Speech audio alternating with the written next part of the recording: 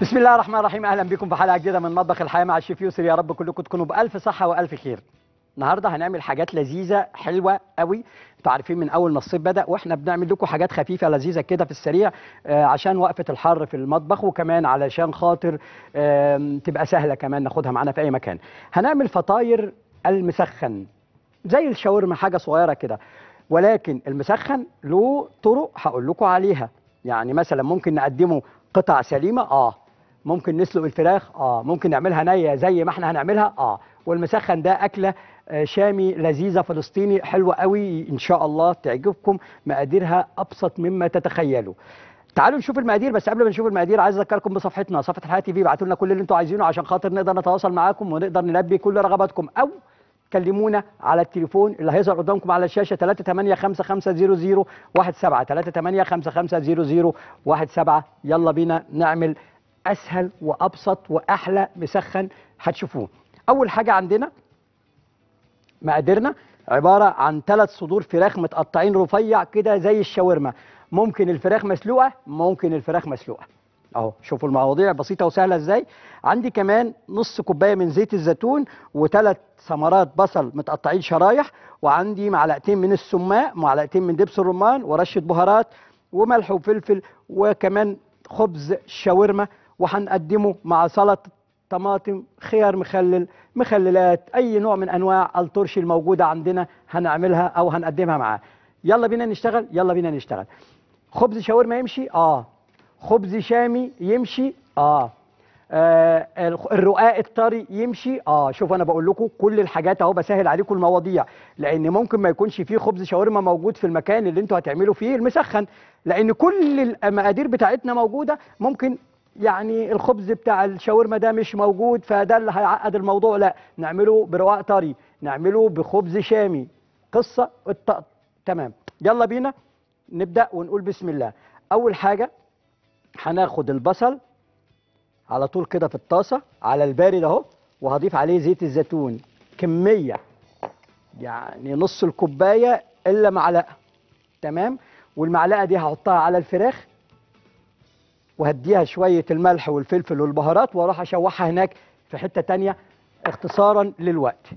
يبقى إحنا هنا زي ما أنتم شايفين البصل مع زيت الزيتون فقط. وهنا الفراخ عليها رشة البهارات اللي إحنا قلنا عليها أهي وعليها ملح وعليها فلفل ونروح نشوحها لوحدها. صباح الفل يا أستاذة عيشة. يا صباح الخير يا صباح الفل. أهلا بيكي وبأهل يا, رم أ- يا أحلى ست في الدنيا. يا رب يخليكي ربنا يكرمك والله. العظيم. أنت ما أقول لك ده أنت حلاق صدقوني والله أنتوا أجمل مشاهدين في العالم. يعني ربنا يخليكم ليا يا رب. ده انت خليت أكتر ال- الناس في البيوت ما عادش بيشكلوا كل يوم مع جوازتهم يقول لك كل ما هنعمل إيه هنطبخ إيه هنعمل إيه. ليه الشكل ليه طيب اولا هفسر لكم كلمة الشكل يعني إيه عشان خاطر الشكل دي أصلا بتاعت بورسعيد ودمياط. ما اصل أنا من دمياط. آه ما أنا عارف ما أنا بقول لهم أهو. آه يتشكلوا أيوة. يعني يتخانقوا يعني يتشكلوا آه يعني. أيوه. آه آه. كل يوم كان يقعد يقول له هتاكل إيه هنعمل إيه. يعني حيره ويقعد يشتكل بقى يقول له كل يوم هتقولي لي ناكل إيه؟ إحنا دلوقتي وفرنا عليكم الموضوع ده صح؟ آه والله هو طب الحمد لله الحمد لله. والله العظيم بندعي لك لا حلتها لنا من جميع النواحي. تسلمي لي ربنا يخليكي والله. العظيم يعني أنت ما أقول لك. تسلمي. وكل ما نعمل حاجة أقول لهم ادعوا للشيف يا رب يخليكم ليا تسلمي لي. تسلمي لي يا رب تسلمي. يا رب وسلام لكل دمياط وحبايبنا في دمياط وحبايبنا في بورسعيد وكده دايما يا رب كده منوريني. تأمريني ما فيش أيوة. سؤال طيب؟ أنا أنا عايزة يعني آه، معلش رأي تبقى تكلمني بعد الحلقة. طيب خلاص سيبي لي تليفونك وأنا هكلمك وعد إن شاء الله. حاضر من عيوني. حاضر تحت أمرك. طيب إحنا حطينا هنا شوية ملح شوية فلفل شوية بهارات مع معلقة زيت زيتون بنشوح الفراخ. وهنا البصل بنشوحه. ممكن نشوح البصل وبعد كده نضيف عليه الفراخ؟ ممكن. ممكن نحط الاثنين مع بعض ممكن كل الطرق ممكنة وكل الطرق سهلة.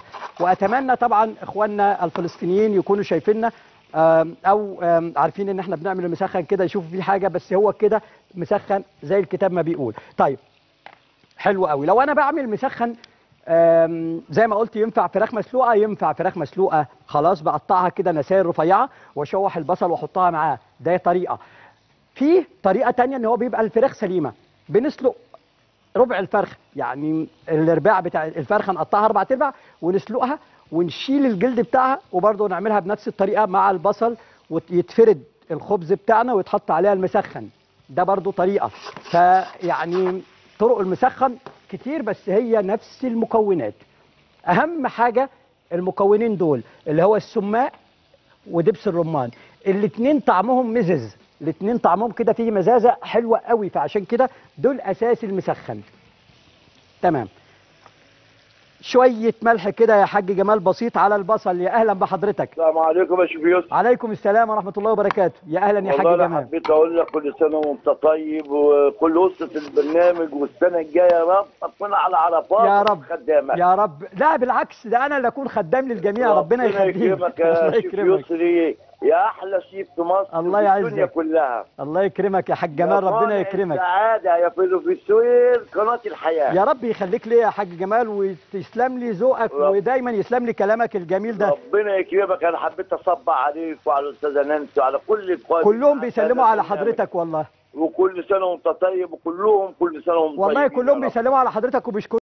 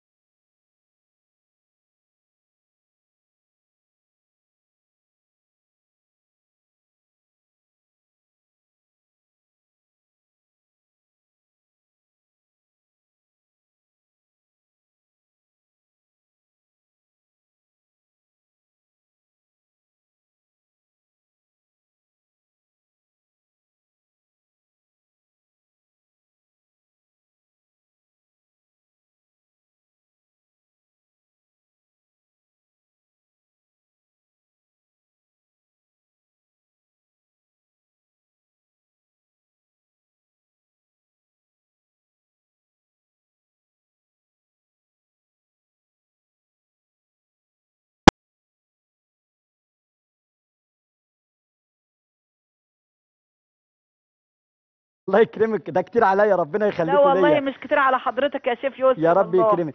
تأمريني يا نادية؟ بنتشرف- ربنا يخليك يا رب. بكلامنا معاك. ده أنا اللي بتشرف بمعرفتكم دايما. ربنا يخليك أسأل حضرتك سؤال. تأمري أمر. عملت المشمشية مش مم. عارفة ليه وأنا بحطها في الشمس لقيتها غمقت وكشت ما إحنا ما قلنا مش مش لازم في الشمس. آه. يعني ممكن النار الفرن نشغ- نسخن الفرن كده على درجة حرارة 50 مئوية يعني زي ما بنقول كده شعرة ونحطها فيها. ممكن بعد ما نشغل الفرن نطفيه ونحطها فيها. ممكن نعمل إيه تاني؟ نحطها من غير فرن بس عليها شاشة في مكان جيد التهوية مش في شمس مباشرة بلاش شمس مباشرة. علشان الشمس المباشرة هتخلي لونها بني أو لونها يتغير. تمام؟ وبشكرك على اتصالك. بصوا بقى هنا الحشوة بتاعتنا. حد هيسألني دلوقتي أنت ما بتحطش الشيف يسري معاها مثلا سلطة طحينة سلطة تومية؟ لا لا خالص. المسخن ما بياخدش معاه أي سلطات جواه. هو يا دوب الرغيف بتاعنا ده كده أهو ونلف تمام. وناخد برضو شايفين التقفيلة دي. أنا بعمله زي قطعة ال spring rolls زي لفة ال spring بالظبط. ونقفل كويس. ونكرر العملية لغاية ما نخلص كل الكمية اللي عندنا. أهو. سهلة وبسيطة.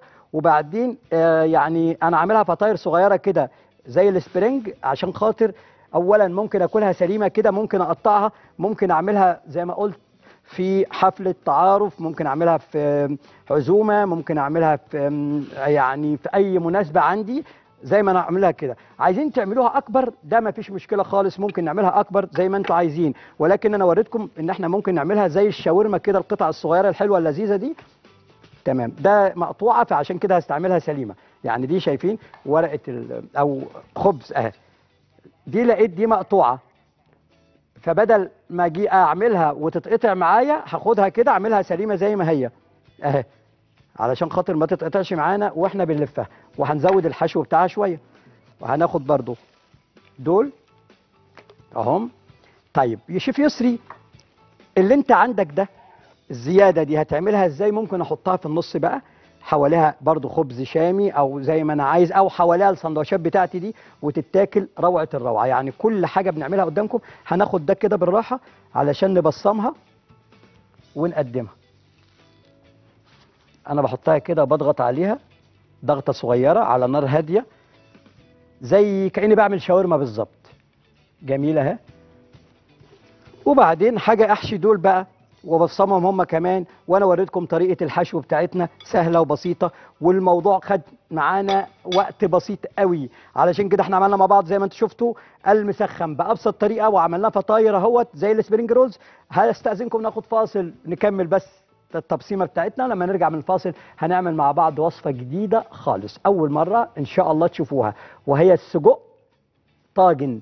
بالبشاميل. بعد الفاصل ما حدش يروح في أي مكان. الجديد والتعليمي والممتع مش هتلاقيه غير في مطبخ الحياة مع يسري ولكن بعد الفاصل.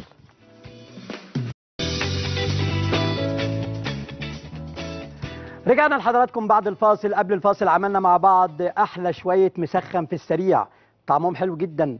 السماق وكمان دبس الرمان بيدوم تيست غير طبيعي. زي ما قلت ممكن نعملهم بخبز الشاورما اللي أنتوا شايفينه ممكن بالرقاق الطري ممكن بالخبز الشامي اللي هو العيش الشامي. أنا أكدت إن الثلاث أنواع دول ينفعوا في المسخن. ولكن الأحسن فيهم اللي هو خبز الشاورما ده. يلا بينا دلوقتي نعمل شوية ده الاصل بتاعه. آه آه. أو هو كمان هم بيعملوا حاجة من أنواع الرقاق كده بتبقى زي ده رقاق طري كده. تمام. دلوقتي هنعمل طاجن سجق. ولكن بطريقة مختلفة. في ناس كتير قوي ما بتحبش تجيب السجق علشان خاطر بيحسوا إنه فيه كمية كبيرة من الدهون فبيبقوا خايفين يعملوه بقى يشوحوه كده. فإحنا هنعمل طريقة النهارده مختلفة إن إحنا هنسلق السجق في مية فيها بوكي جرنيه تعالوا نشوف المقادير وبعد كده نشوف هنعمل إيه. عندي نص كيلو من السجق البلدي. نص كيلو من السجق البلدي. عندي مية فيها بصل فيها جزر كرفس ورق لورا وشوية ملح. وبعد كده عندي ثلاث كوبايات بشاميل هنعمله مع بعض. لعشاق البشاميل اللي عايزين يعرفوا البشاميل هنعمله دلوقتي مع بعض بأسرع طريقة. وعندي كوباية من الكرات وكمان فصين توم وكوباية من الفلفل المتقطع شرايح وكوباية جبنة مبشورة. ويلا بينا علشان نشتغل مع بعض. بسم الله الرحمن الرحيم. هنا المية فيها بصل وفيها جزر وفيها كرفس فيها ورق لورا فيها كل المنكهات وفيها كمان شوية ملح. أهو. تمام؟ لو إحنا بصينا عليها من فوق كده هنلاقي الخضار بتاعي بيغلي معاها ومديها اللون الرائع ده. إخواننا بقى المسيحيين اللي دايما بيبقوا عايزين ياخدوا آه، مرق طبيعي ما فيهوش حاجة من الحاجات اللي طبعا أيام الصيام. دي مرق خضار طبيعي أهو. مرق خضار طبيعي ممكن أعمل بيه أي حاجة أنا عايزها آه، أستعمله كمان في بشاميل الصيامي وفي الحاجات دي كلها. تمام؟ شايفين البوكيه جرنيه ده؟ خلاص. هنيجي هنا ناخد عليه السجق. سجق بلدي. تمام. اهو. بسم الله. وننزل قطع السجق كده عليه تتسلق. تنزل كل الدهون الزيادة بتاع الموجودة. وبعد ما هنسلقه هنرفعه. وبعد كده نكمل مع بعض الوصفة بتاعتنا. على بال ما السجق يتسلق معانا ونبدأ يعني يطلع الدهون اللي فيه ويستوي تسوية كاملة هنعمل إيه دلوقتي؟ هنعمل مع بعض أسرع بشاميل. أنتوا عارفين إن أنا بحب دايما أنكه اللبن يعني أخلي فيه نكهات. بحط له بصل وجزر وكرفس ورق لورا وشوية بشرة حبهان ويغلي مع بعضه كده وأصفيه لازم يبرد. تمام؟ شوية ملح. هناخد هنا دول حوالي 3 كوبايات من اللبن 3 معالق من الزبدة أهم. ونحط عليهم 3 معالق من الدقيق. ونقلب كله مع بعضه. أسرع بشاميل أسرع بشاميل. بس زي ما قلت النكهات بتاعته الموجودة في اللبن إن أنا بغليه مع شوية بصل وشوية من الكرفس والجزر وورق اللورا وحبهان وبشرة جوز الطيب. تمام. الزبدة ساحت. أهي. وبعدين ناخد عليها ثلاث معالق من الدقيق. واحد اتنين تلاتة. أهو. تمام. ونقلب. هو أنت بتسوي يا شيف يسر الدقيق مع الزبدة؟ لا خالص أهو. اتقلبوا مع بعض. ما خدش لون ما خدش لون. أنا بدوب بس عشان ما يبقاش فيه كتل. وهنزل بيه باللبن. واحدة واحدة. يلا بينا. مع التقليب. أسرع بشاميل في التاريخ. السؤال بتاعنا اللي بنتسأله كل يوم. ال- البشاميل آه، بيبوظ معانا. البشاميل بيبقى تخين معانا. أهو ما عملناش حاجة خالص من وراكم. مفيش أسهل من عمل البشاميل. لو عملناها كده بالطريقة السهلة دي. أهو بقلب وما بسيبوش لحظة لغاية ما يتقل معانا ويطلع معانا أحلى بشاميل. يا شيف يسري أنا بحمص الدقيق شوية؟ لا. لو حمصنا الدقيق لون البشاميل هيتغير يبقى لونه بني. يبقى أنا كده غيرت الموضوع ودخل في صوص تاني مختلف. أهو الدقيق مع الزبدة لو حمصناه ولونه اختلف بقى بيج كده هيخلي لون البشاميل بقى بني أو بيج. وده يخش في مرحلة تانية وفي صوص تاني خالص ملناش دعوة بيه لكن ده اسمه صوص بشاميل. الصوص الأبيض الصوص الأبيض. عشان كده لازم يبقى لونه أبيض. عشان كده أنا بحط الدقيق مع الزبدة بقلبهم تقليبة واحدة يندمجوا مع بعض. طب يا شيف يسري طعم الدقيق هيبان معانا؟ لا ما هيغلي. فهو سوى أول ما هيغلي اللبن خلاص هو سوى معايا الدقيق. طعمه ما بيبانش وأتحداكم. ولازم تجربوا وتبعتوا لي أسرع وأسهل بشاميل. تاني أهو عشان خاطر السؤال المكرر أنا كان ممكن أجهز البشاميل ونقول ثلاث كوبايات بشاميل زي ما مكتوب لكن أنا حبيت أعمله قدامكم علشان خاطر كل ما تيجي كده كل فترة نعمله قدامكم وتشوفوا شكله. لو أنا بصيت هنا السجق بتاعنا بدأ يغلي في المية اللي فيها البوكيه جارنيه وشكله اختلف والمية لونها اتغير أهي بقى طلعت الدهون الزيادة الموجودة وطبعا عايز أقول معلومة السجق البلدي ما بيبقاش فيه دهون كتير علشان كده هنلاحظ إن شكل السجقه زي ما هي اهي ما اختلفتش. شكل السجقايه زي ما هي ما خستش خالص. لكن ال... إلا من رحم ربي يعني في سجق أو أنواع سجق بتبقى كلها دهون. بمجرد ما بتنزل بتلاقيها نزلت الدهون وبقت رفيعة كده قوي. البشاميل بدأ يتقل معايا أهو. خدنا وقت قد إيه؟ ولا حاجة. 3 4 دقائق في عمايل البشاميل.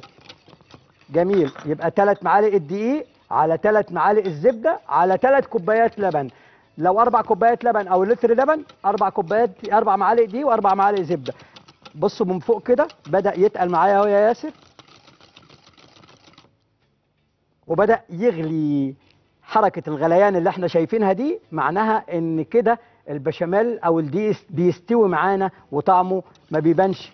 والبشاميل مع بعض. أنا عملت حاجة من وراكم؟ لا ولا حاجة من وراكم. عشان كده هوريكم قوام البشاميل. اللي أنا بقى طالب بيه إن يبقى سايل يبقى بشاميل سايل ما يبقى انسيابي. وأهو مفيش أسهل من كده. يا جماعة البشاميل مش عقدة مش صعب خالص والله. يعني أنا دايما بتسأل عليه. فيعني ب... كل فترة كده هتلاقوني بعمله لكم. لأن أهو خدنا بالظبط 3 4 دقائق في عمايل آه، بشاميل. وأسرع حاجة حد هيقول لي وأنا لازم أحط بصل وجزر وكرفس ورق لورا في في اللبن واغليه؟ لا ممكن لو أنتم مش عايزين ممكن نحط نص مكعب مرق ممكن نحط شوية ملح وفلفل وبش- وبشرة جوز الطيب زي ما تحبوا. لكن أنا بحبه يبقى فيه نكهات طبيعية بصراحة. البشاميل استوى؟ أهو. يا أستاذة أسماء أهو البشاميل قدامنا أهو. خلاص استوى معانا. هنرفع وأوريكم قوامه قبل ما نعمل أي حاجة. تمام؟ ألو. يا أستاذة أسماء. ألو يا شيف يسري يا أهلا بحضرتك. تمام كده؟ ده البشاميل أهو يا أستاذة أسماء. شايفين؟ هو ده الصح. هو ده البشاميل. جميل. تمام. يلا بينا. يا أستاذة أسماء. ألو. أه بحب أكلاتك يا شيف يسري يا رب يخليكي ليا تسلمي لي يا رب تسلمي. ما تحرمش منك ابدا. نعم. اتفضلي أنا سامعك. لو سمحت عايزة طريقة عمل البيتزا. البيتزا حاضر من عينيا. حاضر. آه يعني آه يعني ما كانش في بشاميل يبقى في بيتزا عينيا. أنا موجود عشان خاطر ألبي رغباتكم واجاوب على أسئلتكم. بصوا بقى السجق أهو. أهو. تمام. أنا هطفي النار خالص مش محتاجها. ونطلع السجق بتاعنا. عايزين نقطعه. تقطيعة بسيطة كده نقطعه نصين. عايزين نعمله زي ما هو كده. هو استوى؟ خلاص آه استوى. تمام التمام. فأنا بطلع كل الكمية ده نشيل الخضروات لو في زيادة. تمام كده؟ أهو. يلا بينا. قربنا نخلصهم أهو. أنا بس حبيت أوريكم شكله وطعمه هيبقى عامل إزاي. بعد ما سلقنا السجق باخد بقى أقطعه نصين لو حابب أو أخليه سليم زي ما هو كده. طلعنا كل الدهون اللي فيه وسويناه تسوية كاملة. طلعنا كل الدهون اللي موجودة في السجق. عشان كده ممكن شيف يسري دلوقتي أنا عايز أكل بقى السجق ده. أنا بعمل دايت ونفسي فيه وكنت بخاف إن أنا أكله علشان خاطر الدهون الموجودة فيه. أنا طلعت لكم كل الدهون الزيادة الموجودة في السجق.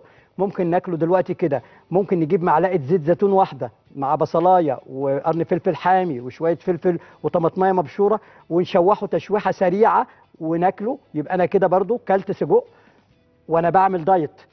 ممكن أخده كده أديله معلقة آه، أشوحه في معلقة زيت زيتون وأديله معلقة دبس رمان وهو مسلوق كده. يبقى أنا برضو كلت سجق وما حرمتش نفسي للناس اللي بتعمل دايت. يا أستاذ أحمد. السلام عليكم ورحمة الله وبركاته. وعليكم السلام ورحمة الله وبركاته. ازي حضرتك؟ الله يبارك فيك يا شيف يوسف. الله يخليك يا فندم. اتفضل سامعك. باسم باسم مشاهدي آه، قناة الحياة. بنتقدم بخالص الشكر والتقدير ونقف معجبين ونبدي كامل إعجابنا بإبداعاتكم في عالم الطهي. الله يخليك يا أستاذ أحمد. حضراتكم وفريق العمل. أشكرك ربنا يخليك يا أنتم فوق الرؤوس وملء العيون والمكان في القلوب. يا رب يبارك في عمرك ويخليه انت حضرتكم يعني مشاهدينا هم اللي على رأسنا من فوق يعني. ربنا يبارك فيك آه والله.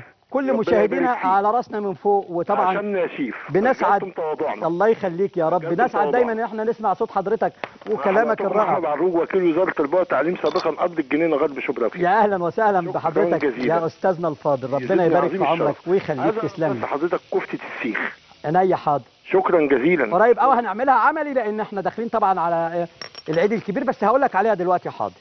تمام. هنا حطينا الكرات. كوباية كاملة يعني كام عود كرات؟ حوالي خمسة ستة من أعواد الكرات. ومعاهم ثلاث ثمرات فلفل ألوان ومعاهم الثوم وشوية ملح صغيرين أهم في معلقة زيت واحدة ونقلب كل الخضار ده معانا. يدبل يدبل معانا. تمام؟ أهو حلو قوي كده. جميل. بعد ما يدبل معانا الخضار ده كده وتمام التمام هيكون عندي الطاجن بتاعنا. أهو والبشاميل. والجبنة والخضار. هناخد بس السجق اهي نقطعه نصين كده عشان لما اطلع قطعة تتاكل على طول. اهو. تمام؟ نصين فقط مش قطع صغيرة. ده مسلوق وطلع كل الدهون اللي فيه وبقى بالشكل الرائع ده. ممكن ناكله دلوقتي عادي؟ آه طبعا. يعني ممكن تاخد السجق كده وهو مسلوق يتاكل كأن حمرته بالظبط. تمام. وأنا قلت لحبايبنا اللي بيعملوا دايت نفسهم في السجق ممكن ياكلوه كده يسلقوه وبعد كده معلقة زيت زيتون صغيرة يشوحوه فيها ينزلوا عليه بتوم وبصل وطماطم وفلفل وكمان ينزلوا عليه بشوية من آه، دبس الرمان لو حابين. كل الحاجات دي متاحة. تمام. قطعنا نصين. معانا اهو. كل الكمية. كل ده نص كيلو على فكرة. يكفي قد إيه بقى؟ يكفي برضو خمس أفراد. أنا دايما بعامل كمية الخضار الموجودة معانا مع السجق مع كل الأكل. يكفي آه، أسرة كاملة يعني. تمام؟ جميل. طبعا أنتوا عارفين السجق ده له عشاقه يعني وطبعا مش مكلف خالص.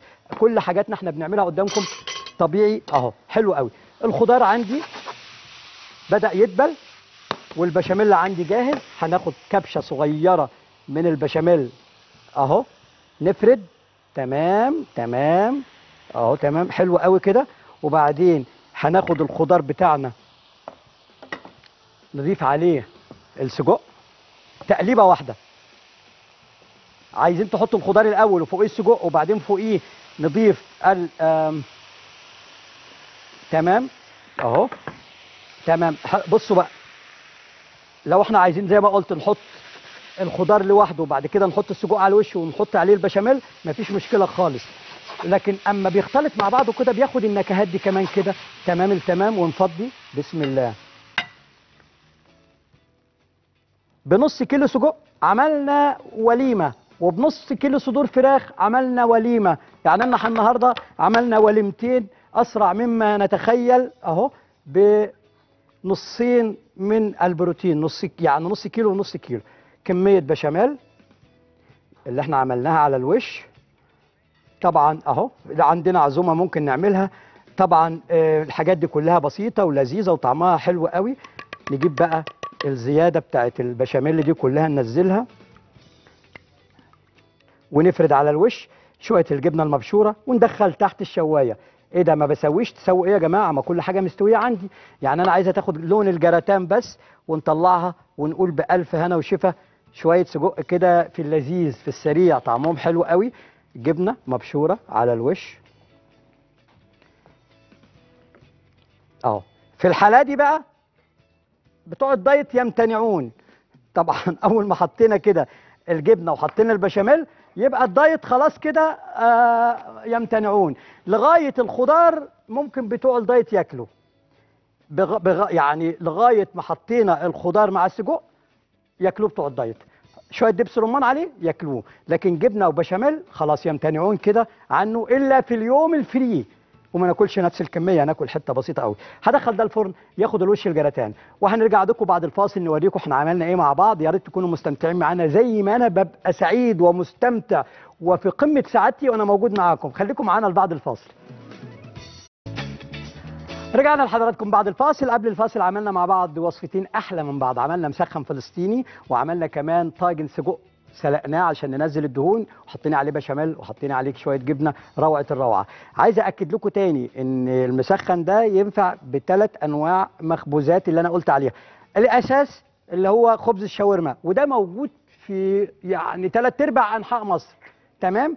وكمان ممكن يبقى بالرقاق الطري يبقى حلو قوي ويبقى بالعيش الشامي زي ما قلنا. زي ما بقول لكم كل يوم يا رب نحب بعض إن شاء الله. أشوفكم على خير. السلام عليكم.